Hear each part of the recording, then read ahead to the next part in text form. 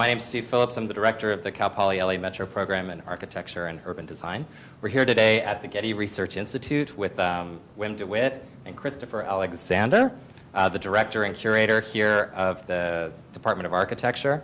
We have um, five guests with us today as a retrospective to the great architect, um, Franklin Israel, Los Angeles architect.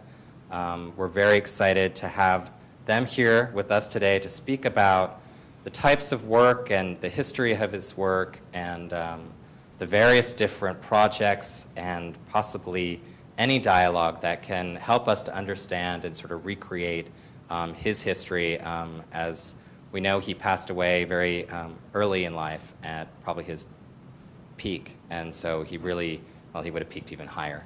And so um, we're very, very grateful to have this opportunity. We have Mitchell um, De Jarnett, we have Stephen uh, Shortridge, Annie Chu, uh, Joe Day, and Barbara Callas um, here. And In my experience with, with Frank, that work, that phase of the work was really undertaken after this work was done.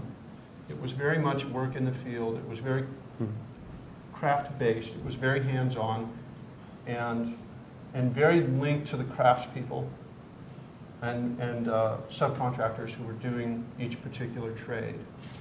And uh, it probably needs to be said, too, that Novacolor, which I don't believe exists anymore in Culver City, which was an outlet for raw pigment and artist materials, was a big part, at least when I was working with Frank, of getting these unique, vibrant, integral color stucco colors into the work and custom mixes and finding people, tradespeople, craftspeople who would,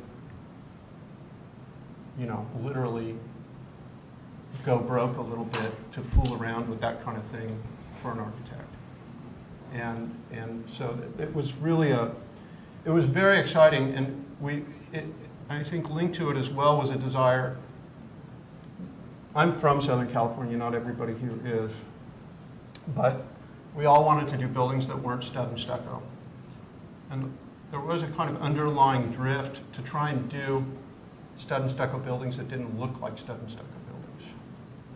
And I think this smooth trowel, integral color, getting away from the sand float, uh, letting cracks happen, um, in, in, in the building skins, all that stuff was, was, was an effort, I think, to, to engage a, a kind of different language of the building skins and especially the palettes.